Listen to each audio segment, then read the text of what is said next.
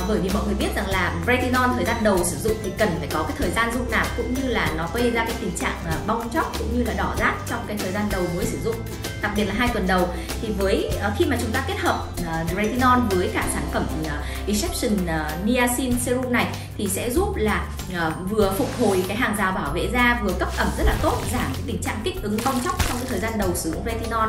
Ngoài ra thì trong thành phần này có niacinamide cho nên nó sẽ hỗ trợ rất tốt cho cái việc kháng viêm và kiềm dầu ảnh hưởng thêm tác dụng của retinol trong người điều trị mụn với công nghệ hiện tại ngày nay chúng ta có rất là nhiều cái dẫn xuất vitamin C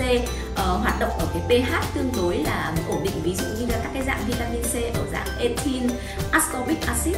Và với cái dạng vitamin C thế hệ mới như vậy thì chúng ta hoàn toàn có thể kết hợp với niacinamide để tăng cường cái tác dụng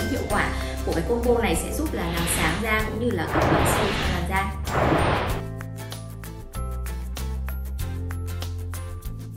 Và việc mà sử dụng hyaluronic acid thì là một cái chất ờ, đóng vai trò là humectant tức là thu hút nước xung quanh các phân tử của nó. Và vì thế thì việc mà chúng ta sử dụng niacinamide vẫn cần thiết là nên cấp ẩm với cả HA để giúp cho cái da của chúng ta được cấp ẩm một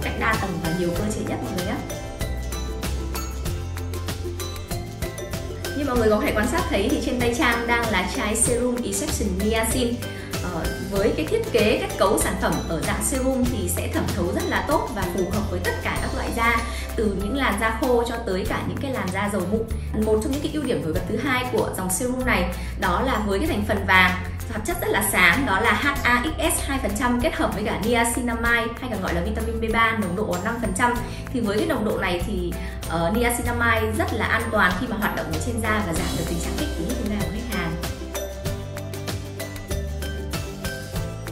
Sản phẩm này sẽ có rất là nhiều các công dụng. Công dụng đầu tiên đó là hỗ trợ rất là tốt cho việc phục hồi da bởi vì mọi người biết rằng là niacinamide khi hoạt động ở trên da thì nó có cái tác dụng là kích thích uh, cái à, hàng rào ceramide bảo vệ da. Vì thế cho nên đây là một cái chai serum có thể hỗ trợ rất tốt cho việc phục hồi da. Tác dụng thứ hai của sản phẩm này đó là có thể là uh, cung cấp cái dầu cái độ ẩm cho làn da. Với cái việc là khôi phục hàng rào bảo vệ da và cung cấp thêm thành phần là HA kích thước phân tử nhỏ uh, và kích thước phân tử trung bình thì với những cái dạng HAXS nồng độ 2% như thế này nó sẽ giúp HA được phân tán đều ra ở các, các lớp da và giúp cấp ẩm đều cho các lớp của da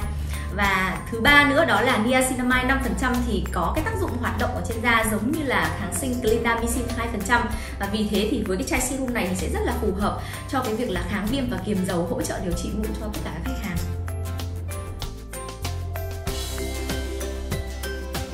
Có ba lưu ý chúng ta cần phải sử dụng khi mà uh, cần nhớ khi mà sử dụng serum niacin này đó là chúng ta sẽ bôi hai lần sáng tối sau các bước làm sạch